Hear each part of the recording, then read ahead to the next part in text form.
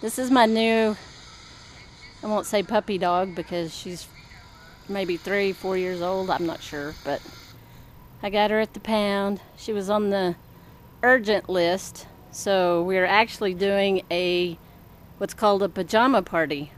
So you get to take the dog home and and they spend the night. They give you a kennel and some food and treats and toys and a blanket and you get to have a pajama party with your choice of a pet or soon to be pet.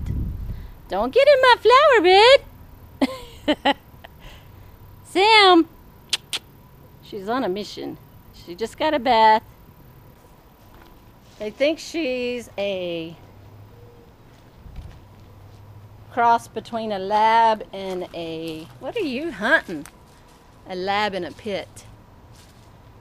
But she is the most lovable.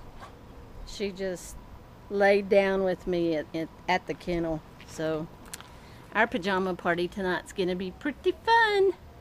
Come on, Sam. Sam. Samantha. Are you hungry?